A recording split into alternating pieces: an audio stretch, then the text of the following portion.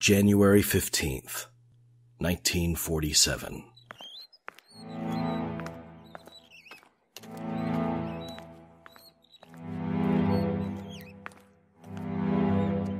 It was, was, you know, about the time kids were going off to school, riding their bicycles and whatever. And I had to go by this um, plot that was undeveloped. Betty Bersinger was pushing her young child in a stroller on her way to market in the morning hours of that fateful day. Little did she know, she was moments away from playing a key role in Hollywood's most notorious unsolved murder. This is her recollection of that morning, as told to filmmaker Kyle Wood in 1996.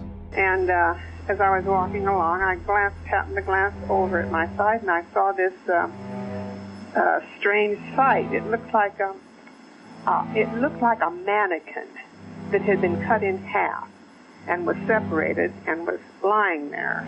And I didn't glance at it too long because my, I had my little girl with me, and I thought, gosh, as I walked on further, I thought, you know, that just didn't seem right to me. And I thought, these I could see these kids with their bicycles. And I said, maybe it'll scare those kids if they ride to school and see this. So I better, uh, uh, you know, call somebody to come and at least have a look and see what it is. But I, the, the thought of a, a dead person did not enter my mind. I thought it was a mannequin because it was so white.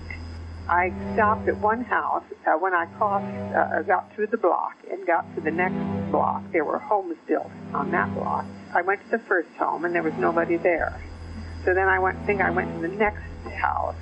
I rang the doorbell and a woman came to the door and I told her, I said, you know, I said, I saw something strange up the street and I said, I just think I ought to call somebody and have them come and look at it, you know. As, as, the further I walked away from it, the further I thought, well, gee, I wonder if it could be something, you know, more than just a mannequin. It just didn't seem to me that that made much sense. so anyhow, I thought I better call and tell the police and at least have them come out and check it. And so um, she said, well, yes, use the phone. So I called them, and I somebody answered in the police station, and I told them uh, what had happened, that I'd seen this, and uh, I said I thought somebody ought to come out, you know, and check it out. And they said fine, they would, and I hung up.